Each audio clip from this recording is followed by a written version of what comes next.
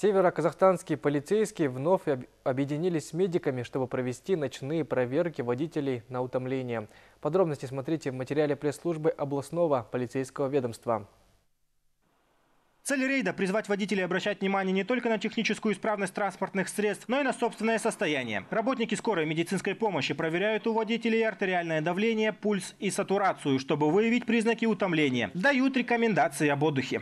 Департамент полиции Северо-Казахстанской области совместно с сотрудниками областного центра скорой медицинской помощи продолжается рейдовые мероприятия по проверке состояния здоровья у водителей большегрузных пассажирских автотранспортных средств.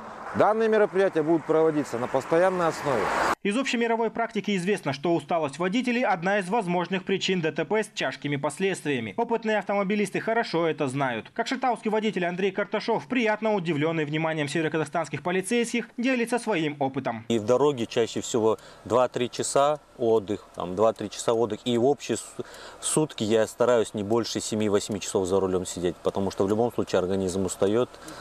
И поэтому, так что берегите себя, у вас есть семья, и она ждет дома или всегда с вами за рулем.